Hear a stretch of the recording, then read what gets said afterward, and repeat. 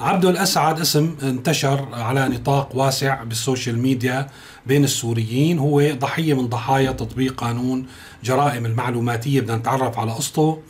بدنا نحكي أيضا عن موضوع الخناقة بين الوزراء في التسابق لتبييض الوش وتنفيذ توجيهات الرئيس الأسد لتسويق حمضيات اللاذقية. رح نحكي أيضا ماذا يجري في الشمال للقضاء أو لإجهاض آه، يعني البادرة الحسنة أو المؤشر الإيجابي في خروج المظاهرات في مواجهة الغلاء.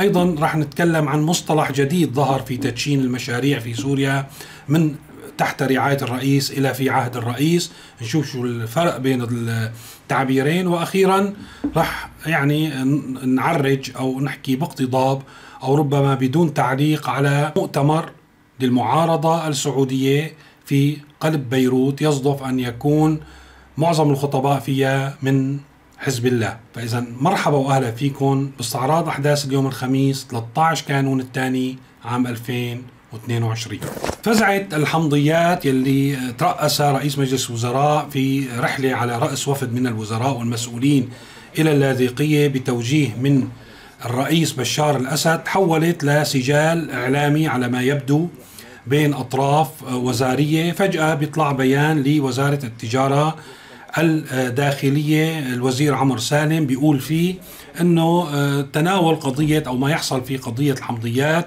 هو مزاودة إعلامية يعني هي كبيرة هلا بنقول كبيرة.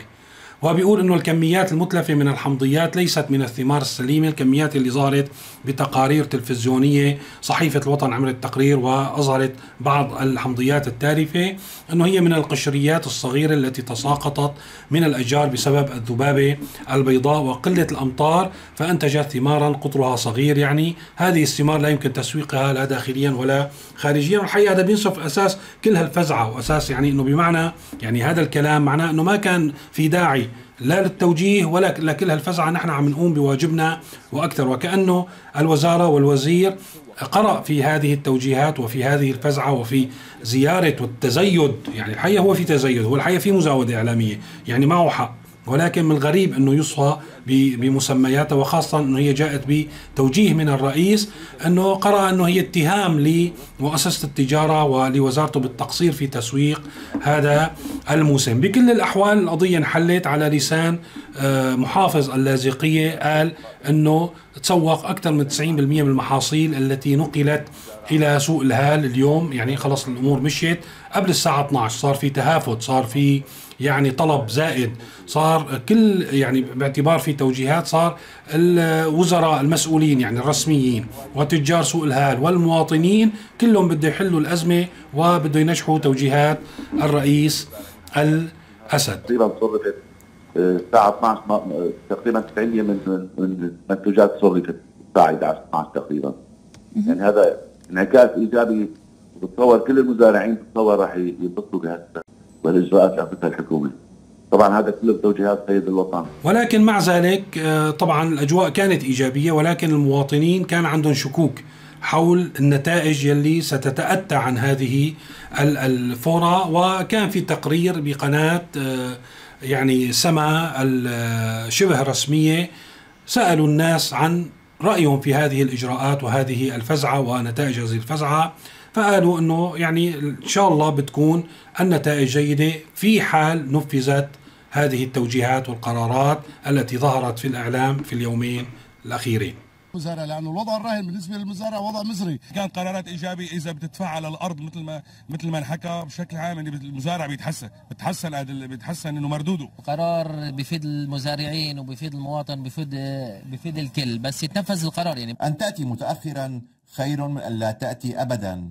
هذا لسان حال فلاحي المحافظة ولكن تبقى العبرة بالتنفيذ.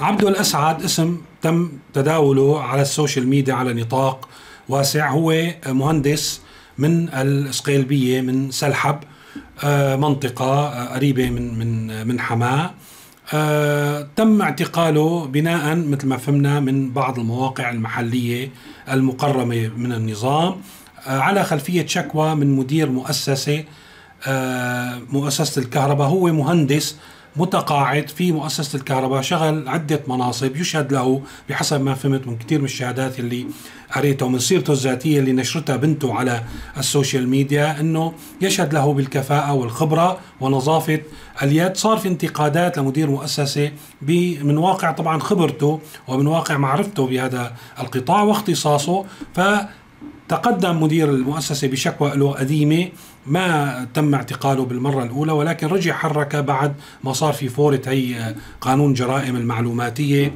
والكلام عن تجديد العقوبات فتم اعتقاله بتهمة وهن عزيمة الأمة. طبعا هذا الموضوع بدلل كيف راح يتم التعسف اللي راح يتم تطبيق فيه هذا القانون واتوقع هذا الموضوع متعمد البروباغندا وتضخيم وتخويف الناس من القانون ومثل هي الحوادث ما بتكون عبث وتسليط الضوء عليها في الإعلام. وطبعا هلا بده ينهوا على أساس بتبويس الشوارب إنه وزير الكهرباء وجه للمدير المعني بهالقضية ليسقط حقه عن المهندس ليطالعوه. طيب إذا ما في وزير وما في مدير وما في إسقاط حق شو بده يصير بالعالم؟ بتوقع مع ازدياد الأزمات آه، يوم عن يوم واقع السوريين أسوأ ما عندهم مساحة لحتى يعبروا منها غير ال social media. طبعا نعرف بالشارع وهذا موضوع المظاهرات والاحتجاجات عنا يعطيك العافية. آه، انتهى إلى غير رجعة. ظل الفسحة الوحيدة ال social media على ما يبدو الاحتجاجات والانتقادات على ال social media بلشت تكون مزعجة للنظام فهن بده يسكتوا العالم. بتوقع البروباغندا حول القانون التخويف من القانون ومثل هالأمثلة يعني هي رسالة للناس إنه سدوا حلقكم يلي عنده كلمة. يضبط أنا من الناس اللي استبشرت خيرا ولكن كنت يعني قلق الحقيقة من المظاهرات اللي كانت عم تطلع في الشمال السوري يعني احتجاجا على ارتفاع الأسعار الكهرباء بالتحديد وما يترافق مع آه، ارتفاع أسعار الكهرباء. طبعا بتأثر على كثير من السلع والخدمات. كان الاحتجاجات خلال الأسبوع الماضي واضحة وبارزة وعم بتزيد يوم بعد يوم. اليوم كانت بعفرين ولكن هذا الاستبشار بالخير ما طول كثير. جاءوهم في الشمال السوري بالمفخخات. اليوم في ثلاث انفجارات صارت في مناطق متعددة بعفرين والباب وأعتقد في عزاز. آه، أتوقع أنه هذه الأعمال هدفها أنه أيضا انضبوا ببيوتكم.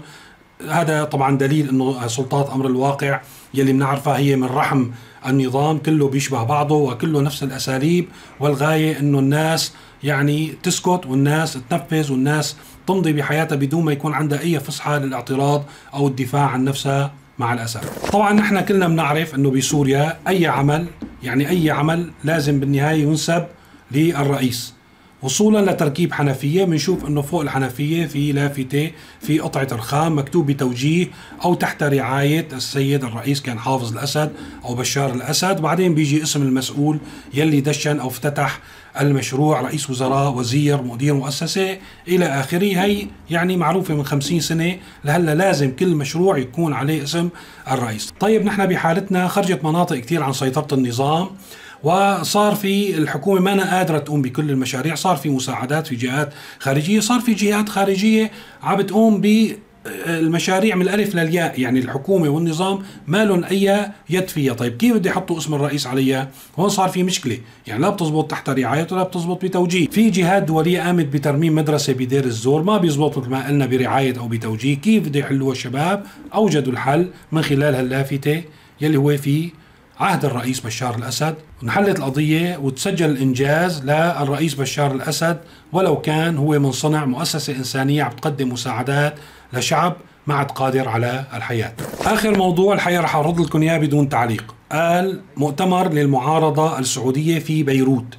نحن بنعرف شو صار ببيروت بنعرف شو صار بلبنان والمقاطعة الخليجية تم الإصرار على إقامة مؤتمر للمعارضة السعودية في بيروت يصدف بأنه معظم الخطباء فيه من حزب الله. رح أحط لكم التسجيل بالرابط بصندوق الوصف لحتى تشوفوه على تليجرام آه، سيرا نيوز والتعليق رح يكون لكم. هذا كل شيء اليوم. إذا بدكم تتابعوا أخبار إضافية تابعوها على موقع سيرا نيوز العنوان عم بيطلع قدامكم على الشاشة. شكرا لمتابعتكم. شكرا للمشتركين بالقناة وللمنتسبين لعضوية القناة. وإلى اللقاء في تسجيل قريب.